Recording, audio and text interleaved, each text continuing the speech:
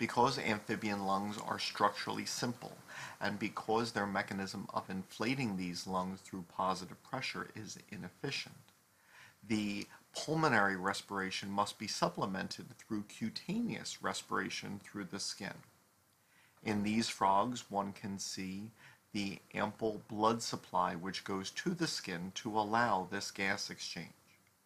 In some amphibians, such as the salamanders of the family Plethodontidae, the lungs do not function and all respiration occurs through the skin.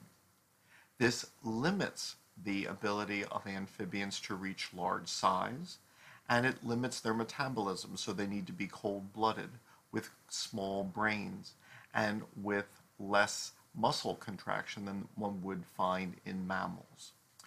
Also, it limits their skin, which must be kept moist. They cannot have a covering of scales or feathers or hair because they need to breathe through their skin, and this limits their distribution to moist environments.